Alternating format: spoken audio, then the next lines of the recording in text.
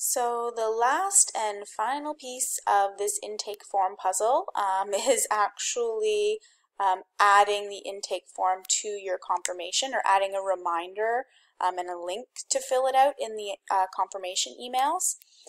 It's sort of in there a few ways and they do see it, your patients will see it when they're initially booking, um, but as you know, I like things really, really clear and foolproof, so um, we're going to want to add a link and a specific line um, reminding people to complete the forms.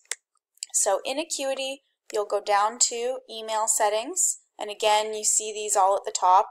Um, and you know, from the last video, we've created, um, oops, we've created uh, a really detailed confirmation email, and so we'll just slide in um, one extra line and link so that you can um, have your patients complete the intake. So it's going to be in the initial confirmation. You're going to want to go down to your initial consult template. And so this was what we created before. And so I like it to, you know, once it says thank you, your appointment has successfully been scheduled, I like to put it here, just a line saying, oops, please complete the, you know, initial oops, patient intake and health history form prior to your arrival.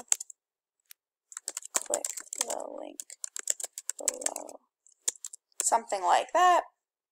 And then we're just going to add a button to edit forms.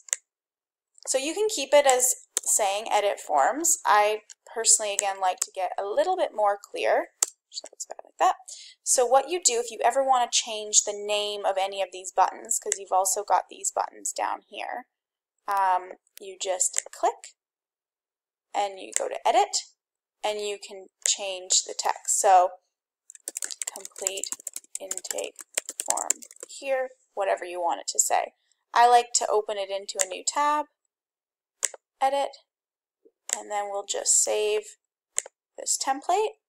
And so now once um, they book, they receive this initial confirmation, they'll have it really clearly stated what they should be doing, where they can do it, and once they click on, I mean, it's really, really easy for them to complete that form.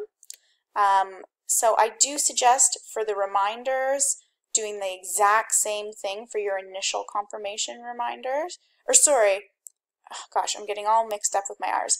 Any rescheduling confirmations, you'll want it to look exactly like your initial confirmation.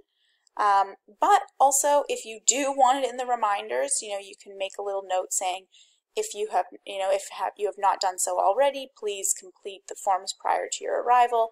And again, with a button, it's completely up to you.